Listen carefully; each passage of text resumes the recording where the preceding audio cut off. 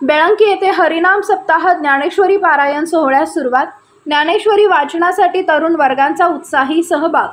सालाबादप्रमाणे बेळंकी येथे ज्ञानेश्वरी पारायण व हरिनाम सप्ताह सोहळ्याची सुरुवात झाली. आहे सर्व समाजामध्ये भक्ती मार्गाची गोडी निर्माण व्हावी व हरिनामाच्या गजराने गावात आनंदाचं व भक्तीचं वातावरण निर्माण व्हावं अशा भावनेने पारायण सोहळ्याचं आयोजन करण्यात आलं आहे सकाळी हरिभक्त परायण शंकर बाबूराव गायकवाड यांच्या हस्ते विनापूजन करून ग्रंथपूजनाने ज्ञानेश्वरी वाचनास सुरुवात झाली.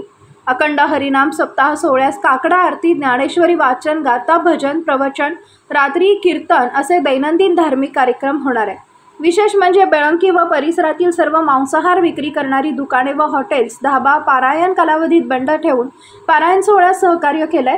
त्या सर्व व्यावसायिकांचे पारायण सोहळा कमिटीच्या वतीने अभिनंदन करण्यात आले.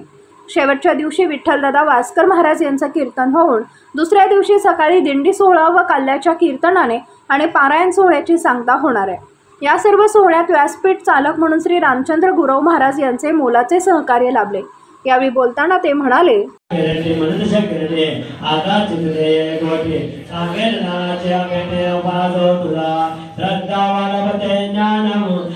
केरते मनुष्य केरते आकाश चित्ते गोटे सांगेल नाचे अंगेते सांगे प्रकृतीचे जेगे जो श्रद्धेचे सबगे सुख्या झाला. हयातीचे केवशित.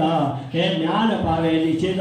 दया माझ्या चोमित शांती असे. हे ज्ञानमध्ये प्रतिष्ठे आणि शांतीचा अंकुर फुटे. मग विस्तार भाऊ प्रकटे आत्मबोधाचा. मग देव देवास पाहिजे. तुमची आत्मा विनाशते. नाही लोकते ना परो. ना सुगम संशय आत्मना. लो टिकासने हे म्हणून आल्याचे पुढे जाणो केला.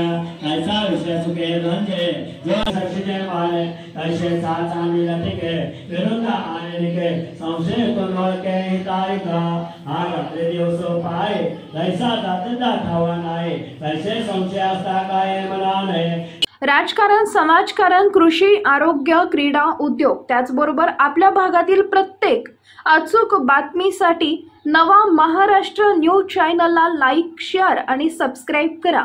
तसेच सर्व नोटिफिकेशनसाठी बेल आयकॉन प्रेस करायला विसरू नका.